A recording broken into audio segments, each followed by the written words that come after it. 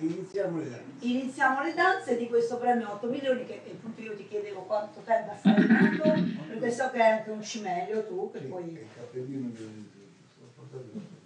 8 milioni è nato 11 anni fa, abbiamo fatto l'undicesima edizione, questo qua è il cappellino della prima premiazione.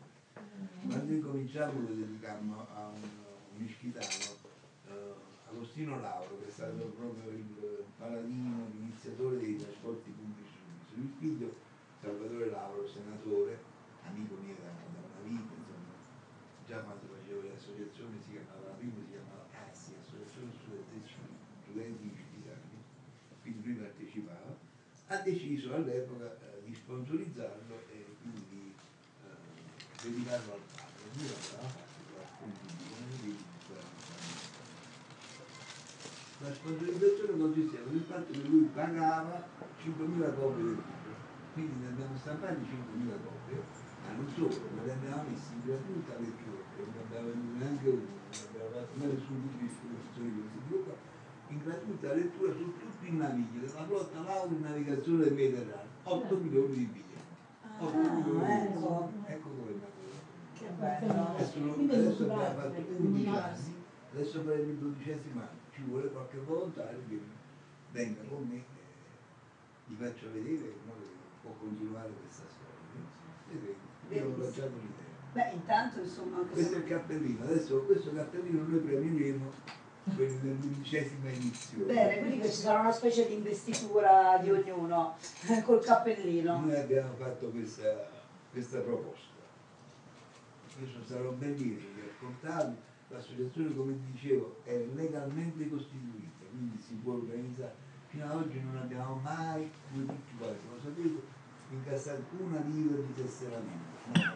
Però se noi facciamo un tesseramento anche minimo, in modo che diamo tutti quanti il diritto di voto, creiamo l'assemblea, facciamo tutti quegli organi così, l'ho fatto sempre io Certo. ho fatto il padrone, senza problemi. Comunque tu me l'hai autorizzato, tu me l'hai autorizzato, guarda che lo facevo per, per tutti noi. Però se lo, lo strutturiamo in una maniera, diciamo, legale e organizzato in maniera giusta, possiamo continuare a tirare avanti. Lo so, Penso che la Ci volontà siamo di tutti, tutti no? quanti, Eh. poi troveremo il modo per verificare come proseguire, ma questo è il programma.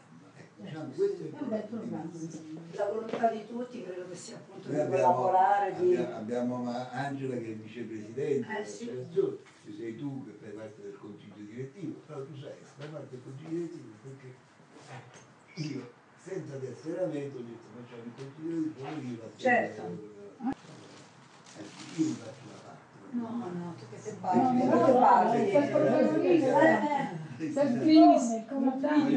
ci sta- non- voglio chiarire che in effetti questo discorso che sto facendo non è né per acquisire un numero maggiore di adesioni o di qualsiasi cosa, è semplicemente per continuare questa storia.